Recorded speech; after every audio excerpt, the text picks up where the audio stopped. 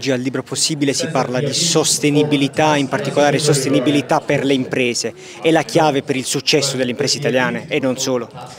Ma sicuramente il tema della trasformazione sostenibile è un tema cruciale per tutte le aziende del mondo. In questo momento eh, è chiaro eh, a tutti che il capitalismo così come l'abbiamo costruito non funziona, bisogna ripensarlo, bisogna creare attività di impresa che creano valore non solo per gli azionisti o i proprietari d'azienda ma per una pluralità di stakeholders. Questo è un chiaramente grande rischio da un lato per eh, le aziende che sono chiamate a fare un cambiamento, un percorso percorso di trasformazione importante ma anche una grande eh, opportunità perché cambiano le regole di mercato per cui eh, oggi nel momento in cui la sostenibilità diventa un fattore di competitività porta le aziende a trasformarsi ed alcune saranno più forti di prima, credo che sarà un'opportunità unica per le aziende italiane. C'è chi dice che è in qualche modo una moda, un modo per avvicinare il pubblico più che un vero, una vera way of thinking in questo modo. Ma sicuramente veniamo da almeno un paio di decenni di greenwashing eh, e probabilmente questo eh, ha fatto parte di un percorso di cambiamento che eh, è dovuto essere anche un cambiamento culturale.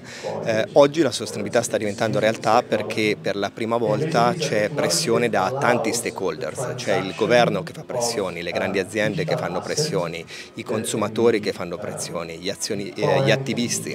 eh, e questo fa sì che oggi le aziende non, non, riescono più semplicemente a parlare di sostenibilità facendo greenwashing, ma devono diventare più trasparenti, eh, deve, azioni concrete devono seguire le parole.